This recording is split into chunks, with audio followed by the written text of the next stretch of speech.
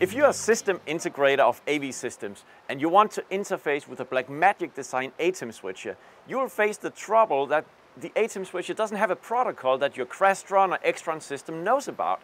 We have a product that bridges this. It's called ATEM TCP Link, and basically what it does is connect to the ATEM switch on the one side, and on the other side, it has a TCP server you can connect to, and you can send and receive commands.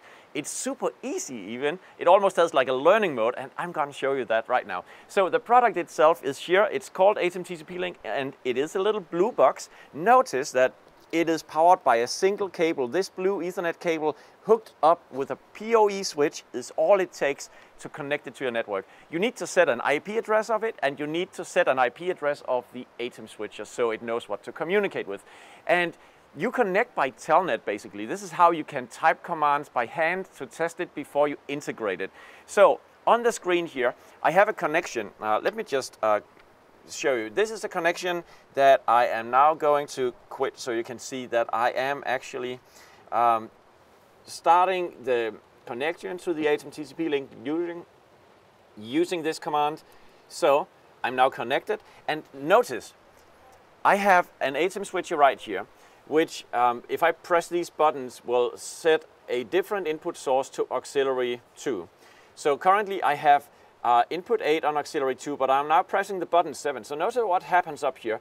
It is going to report as I press the button that now the auxiliary source for input number, it says 1 because auxiliary 2 has the number 1, it's, it's minus 1 in this case, equals 7. And now I'm pressing another number of inputs. So all you need to do is now to replicate this, okay? So basically do this, do this, copy this, I now copy it and I paste it in and notice on my ATEM switcher, which currently has input source 11 on the um, switcher, I uh, will now, as I press enter, see this change to 10. So the learning mode essentially is that any command, any change of state that happens on the ATEM switcher will be exposed to you on the TCP link uh, telnet interface making it super easy for you to identify the things that you want to do. Basically, with all these controllers we have, you can just type in or execute commands on the ATEM switch or with the ATEM software, and you will see it replicated here on the ATEM TCP link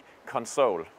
That's the ATEM TCP link, a super easy way and, and very stable way to integrate your ATEM switcher with AV equipment.